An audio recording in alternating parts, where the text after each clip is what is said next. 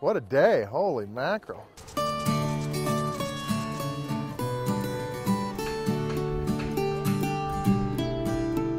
have a very special guest here today. I'd like to welcome Senator Jon Tester.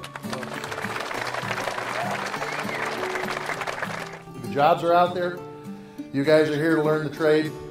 And uh, in long term, that's a positive thing for this country. So I appreciate your dedication and being here to do that. Uh, we have to pull this out, which is the steering clutch itself. Yeah? We have to pull it out. Heck, is that, is that a Cummins V8? Uh, yes, sir, it is.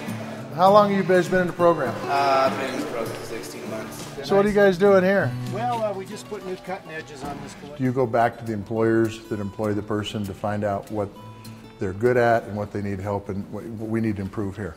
Yeah, I, I definitely. How many students? About 246. So how long is this program for? How many months? It's What made you want to get into cooking?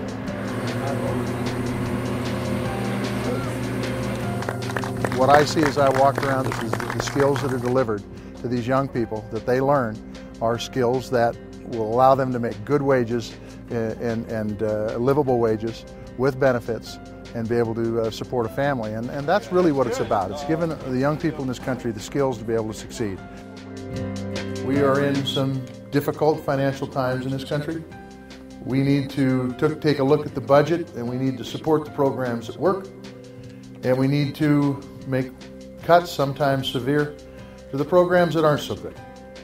This is one of those programs that's a good program.